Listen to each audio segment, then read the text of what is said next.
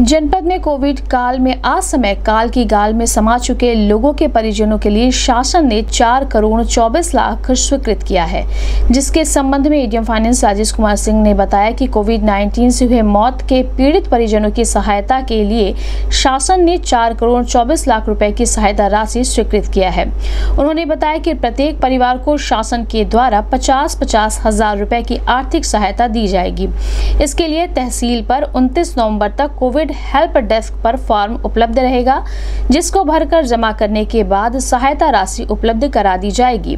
इस संबंध में गोरखपुर न्यूज़ से बात करते हुए एडीएम फाइनेंस राजेश कुमार सिंह ने कहा। नमस्कार, मैं राजेश कुमार सिंह एडीएम गोरखपुर हूँ।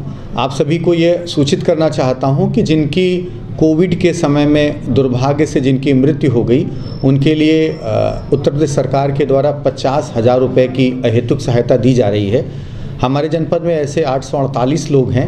इसके अतिरिक्त भी ऐसे लोग हैं जिनका वेबसाइट पर उस समय डेटा एंट्री नहीं हुआ था।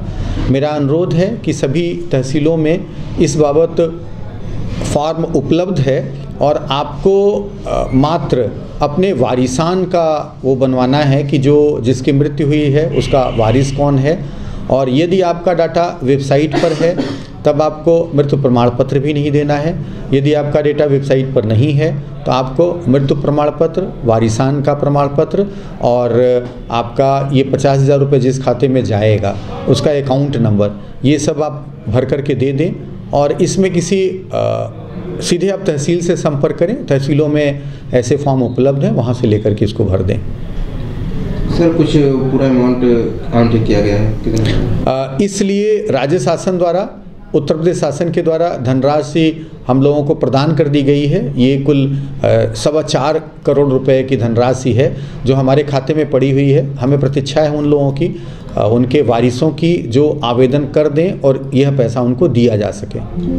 सर रुपये का वितरण हेल्प डेस्क की से जारी ये अभी उनतीस तारीख को सब जगह हेल्प डेस्क बनी रहेगी। आपसे अनुरोध है कि आप तहसीलों में जाएँ वहाँ पर हेल्प डेस्क बनी रहेगी वहाँ से आप फॉर्म ले लें उसको भर के फिर वहीं पे आप जमा कर दें।